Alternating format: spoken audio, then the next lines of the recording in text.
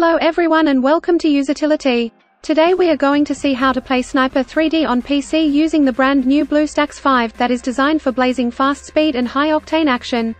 We will be able to easily download and install Sniper 3D and enjoy the game on our Windows PC with keyboard, mouse and big screen thanks to BlueStacks 5, which is the Android emulator that we recommend to play Sniper 3D. So without further ado, let's get to it.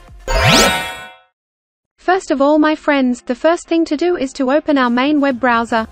We open the one we use by default. Let's go to the current URL that I'm highlighting in green.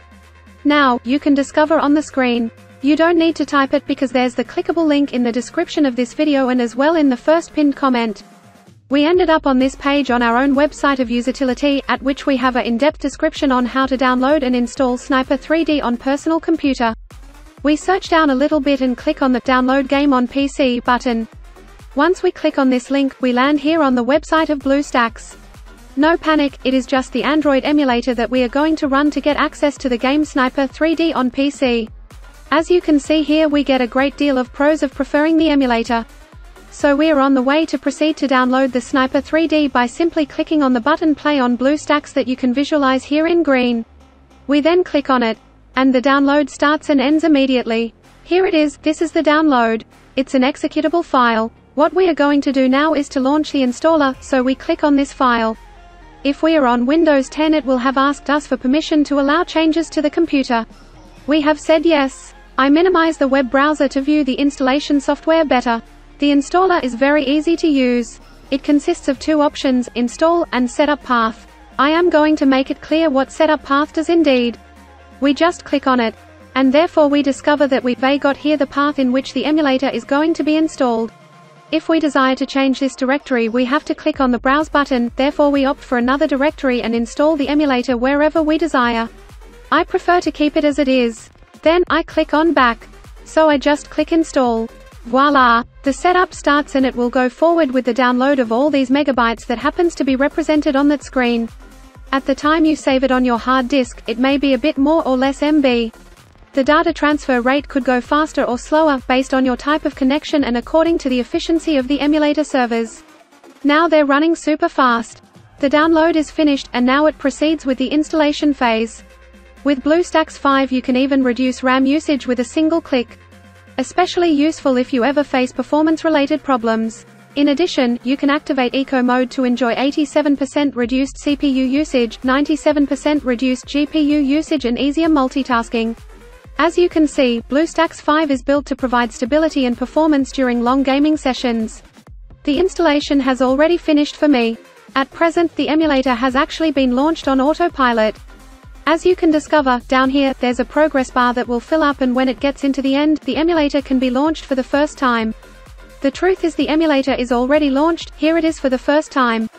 Before we carry on, as you understand, it has created two icons there on the PC desktop. The BlueStacks and BlueStacks multi-instance. Note that the BlueStacks app icon is definitely the one we are concerned about. Every time we need to run Sniper 3D on the desktop or laptop, we twice click this particular icon and as a result run the emulator.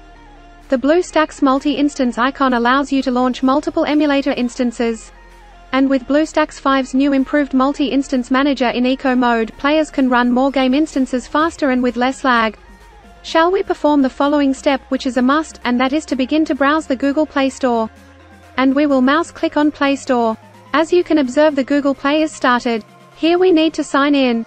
So now as soon as we're here, we are required to do the next phase that is obligatory. So we simply click on Sign In. Presently it announces Checking Info. It may occasionally get stuck in checking info and this does not proceed. If that's the case, you should try to log in in after a few hours and it will surely almost certainly be sorted out. At this time we shall type our email and password.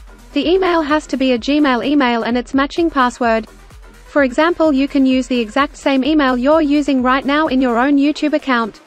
Thus I will provide my information and I will return immediately after I have completed it.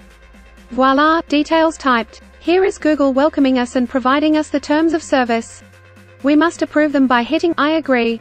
Following that, it allow us to back up to the Google Cloud. You can also leave it checked and it will generate a backup of your data on this device to Google Drive. I won't check it, you do what you want. We click accept. Google Play Store is started by default and instantly. To install the application, we need to browse the emulator desktop by clicking on the icon indicated green colored. At this point that we are watching the desktop of this emulator, we observe that we have there the install game option. We just click on the button. On this page we access to the video game.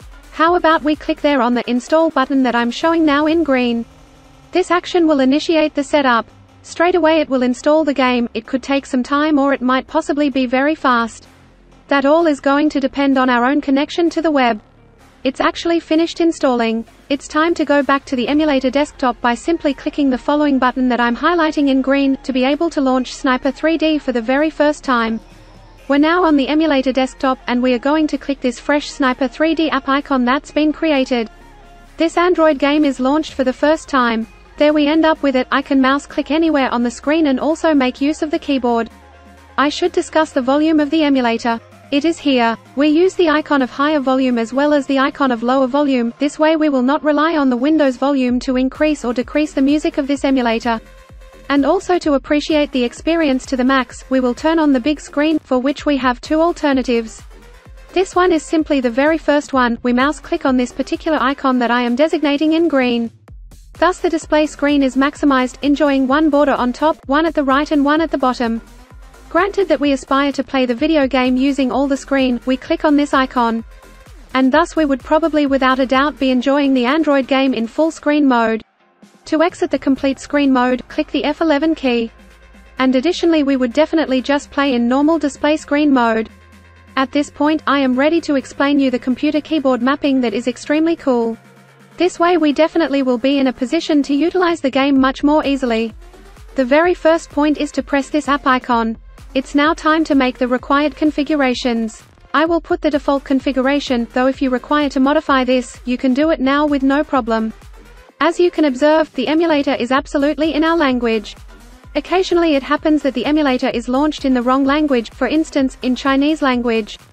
And thus to set it up in the correct language we go there to the cogwheel. Then there within additional settings, we click the language drop-down. We could select the language we like, English, Mandarin, and so forth. When the language is chosen, we could save, the emulator will reboot, and also the video game, the next time we run it, will as well be in the specified language. At this point, you will find another detail that we will need to take into account, and this is that we will receive a message from Google telling that a brand new device has been linked to this Google account. It will definitely ask us if we're the people who have associated with that electronic device. Indeed, we shouldn't worry, considering that the emulator is acting as an Android tablet or smartphone. So you can identify which electronic device is currently being emulated, we come here, to the cogwheel and we just click on it. Let's go here to the model choice. And here we discover that the emulator is emulating a Samsung smartphone. And so we're going to receive an email saying that a new Samsung device has been connected to our Google account. That's all guys, so much for the training. I hope you appreciated it, especially that everyone found it useful. If that's so, offer it a good thumb up, subscribe, and if you have remarks, concerns or suggestions, leave them in the comment field down below.